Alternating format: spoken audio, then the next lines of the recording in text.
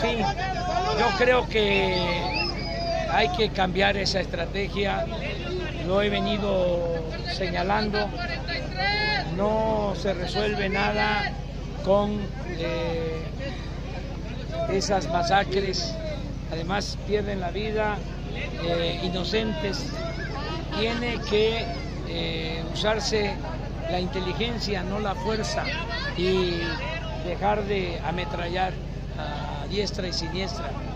Yo sé que eh, responden a veces los soldados, los marinos, porque son atacados y se puede argumentar que es en defensa propia, pero hay que cambiar la estrategia, no seguir con el uso de la fuerza, queriendo resolver el problema de la inseguridad y de la violencia. ¿Es un desgaste también para las Fuerzas Sí, se afecta mucho en las instituciones este, y hay que eh, proteger, hay que defender a las eh, instituciones. ¿Considera esto entonces una masacre? ¿Lo califica como tal lo que pasó en Tamaulipas con los menores y la Marina?